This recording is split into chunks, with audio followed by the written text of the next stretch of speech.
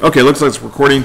So this is chapter four, section one, and um, they're talking about powers of 10, but it's getting a little more complicated now, because now we're dealing with powers of 10, multiplying numbers by 10, by 100, by 1,000, by 10,000, that have, uh, Ms. Jennings, decimals in them, okay?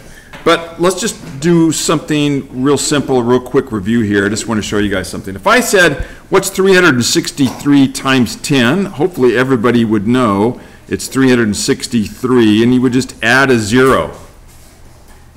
If I said, what's 363 times 10 squared? It's going to be 363, and then I'm going to add two zeros.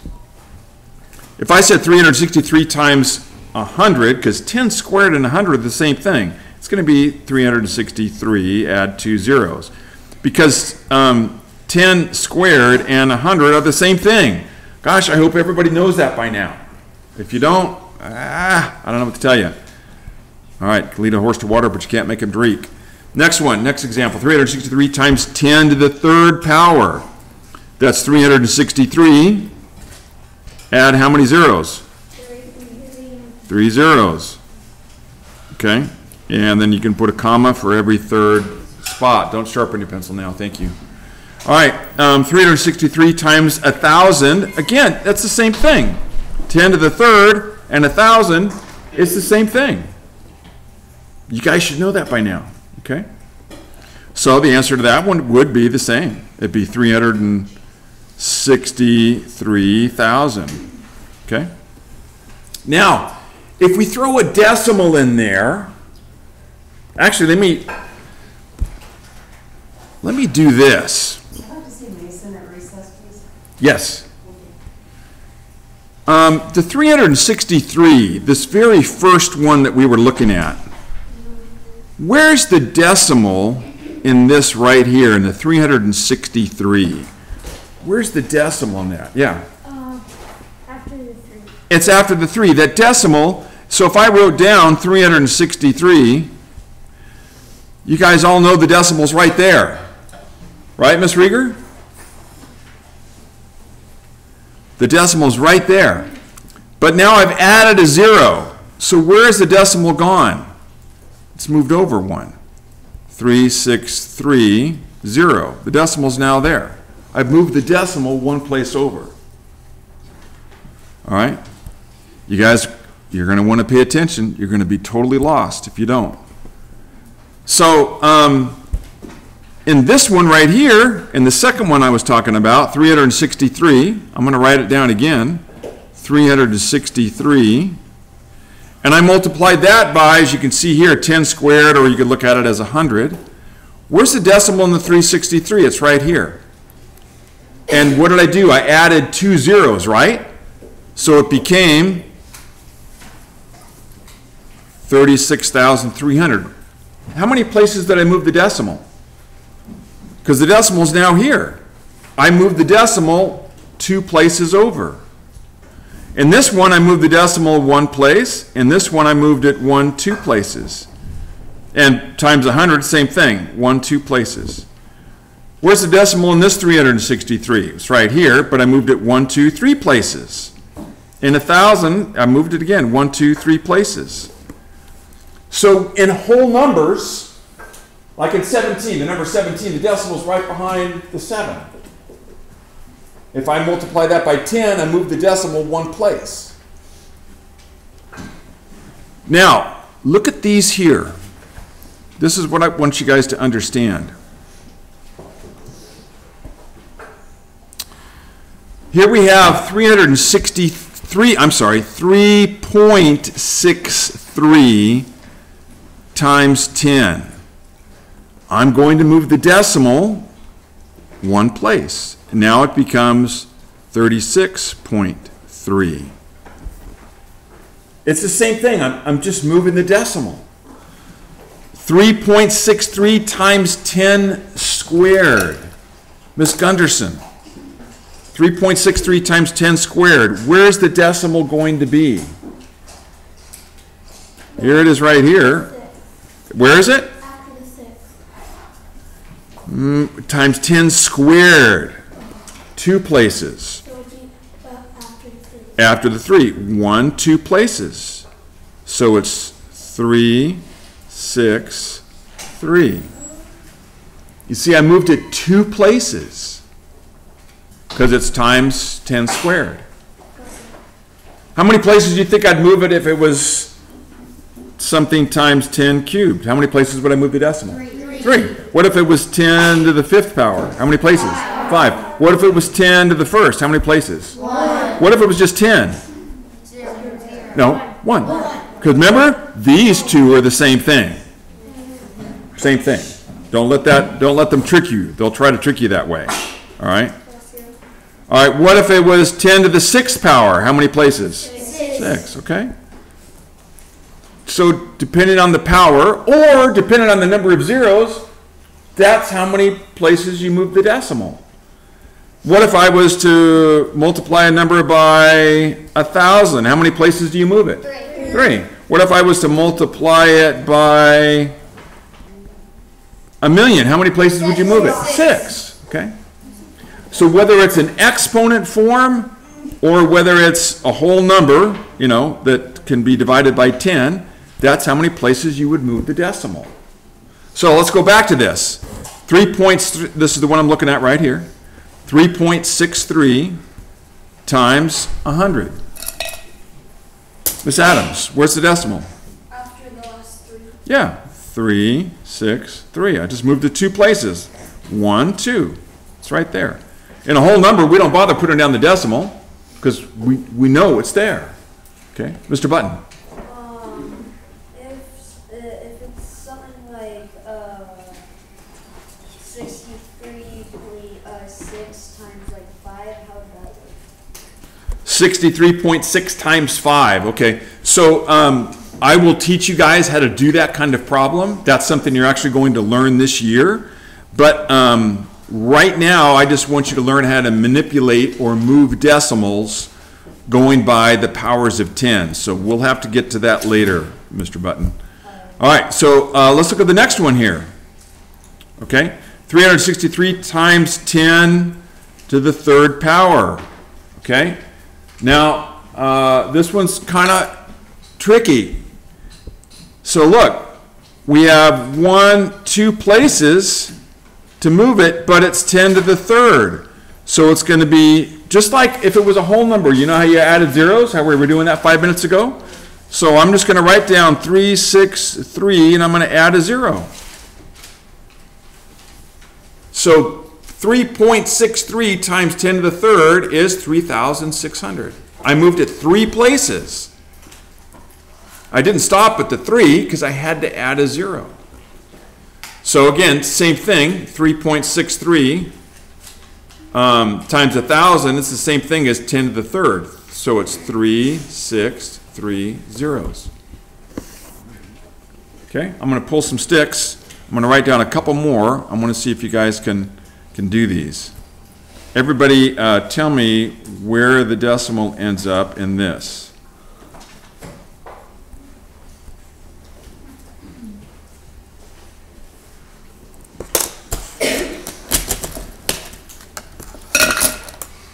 Mr. Eberhard.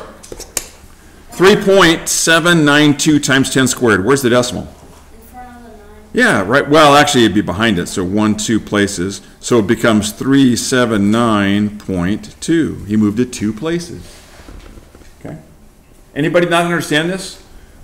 Raise your hand because I'll, uh, I'll give a couple more examples if you guys want me to. Yeah. Mr. Gisa? Okay. Uh, don't really understand it if it goes over. If it goes over, okay. So, so, Ms. Ogisa, I'm gonna do four point two times ten to the third power. That's supposed to be a three. It's not a very good one. Let me try it again here. Three. There we go. Okay. So, Ms. Ogisa, let me ask you, how many places do you have to move the decimal? Three. But we only have one spot, right? So that means we're gonna have to add two zeros. So it becomes four, two, zero, zero. Make sense now? Okay. So if, reminding me that we have computer lab here shortly. So, um, if there's not enough places to move it, then just start adding zeros. All right? Make sense? Okay, so, hopefully you guys get that. Let's look at, uh, let's look at a couple more that I wrote down. Okay? So here we have, look at this one. 0.009 times 10. Now, are those the same thing? Look at those two. Are those the same thing? Let me pull a stick here. Miss Garen? Yes. Yeah, they are, the same thing. Okay. Now, so look at this, Mr. Gisa, I'm gonna pick on you because you were asking me, how many places do I move the decimal? One. So I'm just gonna move it right there. So now this becomes, I could write zero point zero nine, or I could just not even worry about that and just write 0.09. Either one would be correct. Just moving the decimal over one place. Uh, put up 10 points. Mr. Hinkle? How many places do I move the decimal in number four here that I'm looking at? Two places, okay, so here's the decimal. I'm gonna move it, look, one, two. So it's between the six and the two. So I'm just gonna write 6.2. All right? And same thing, 6.2. All right? These are the, doesn't matter, one, two, whether the zero is in front of the decimal or not, 6.2. You guys get it? I hope, yes, kind of, sort of, maybe, all right. All right, so let's look at uh, the work they've given you really quick here. Um, I think they kind of go the long way around the barn about explaining some of these things here, but, so look, here's what they're showing you. Uh, 363, this is what I'm looking at here, times 1, that's 363.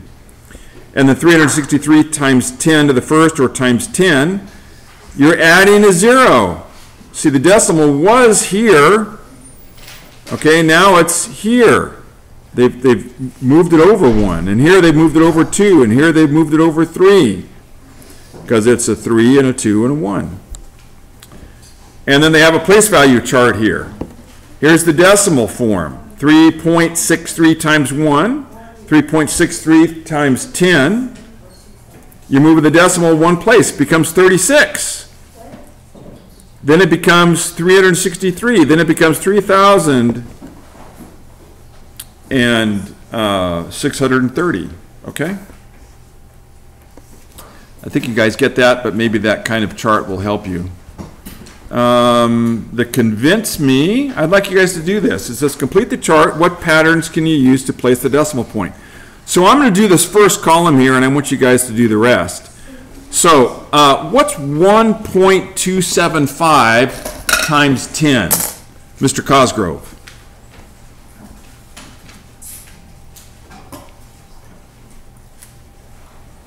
One, two, twelve point seven five. Perfect. That's beautiful. Put up 50 points. 12.75. He moved the decimal one place. Mr. Ward. 26.014.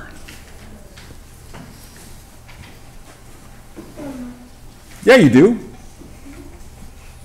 Look up here or look in your book, doesn't matter.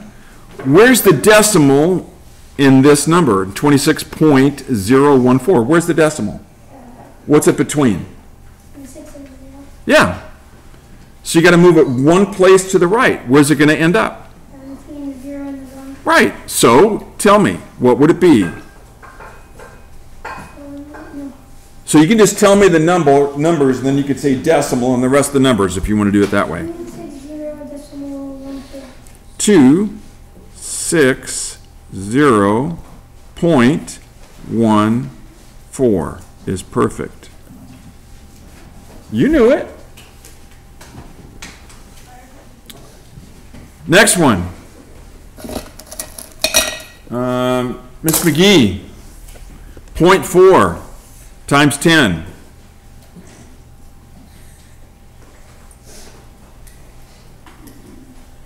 Think about what we've been doing. How many times have we been moving the decimal over in this column? What's that? One time, right. Where's the decimal right now in the, in the point four? Where's the decimal? Yep. Where should it go? Behind the four. So it becomes four. Now you could put four in the decimal, but again, in whole numbers, we don't bother putting the decimals down. We just know what's there. Okay, so it just becomes four. All right, so I want you guys to do the next two columns. Let's go down to the guided practice, the next page. Let's take a look at that here. Gosh, we're at 15 minutes already. I gotta move this along here. When multiplying by a power of 10, I'm looking at number one here, like 4.58 times 10 to the third, how do you know you are moving the decimal in the correct direction? Well, when you move the decimal to the right, the number is getting larger. If you move it to the left, it's getting smaller. Let me show you what I mean. Look, if I had 45, and the decimal's right here, and I move it over one, and now I add a zero, what's bigger? 45, um, or 450? What's bigger? 450. All right? Um, if the decimal's right here and I move it to the left, I go this way, and it becomes 4.5. What's bigger, 4.5 or 45? Right, so when you go into the left, it's getting smaller. When you go into the right, it's getting bigger. And you can, you can phrase that however you want. In fact, you could just put it the way I just said it if you want. When you move it to the right, it gets larger. When you move it to the left, it gets smaller. All right, two through five. Um, I actually did a couple of those for you already. And um, do those. And then I'm looking at um, independent practice here. You guys could do those. Let's look at, I'm going to look at number seven here, the third part. It's point, you can see it here, point zero eight six times a thousand. Uh, Mr. Oldham, what would that be? How many places, how many places you move the decimal?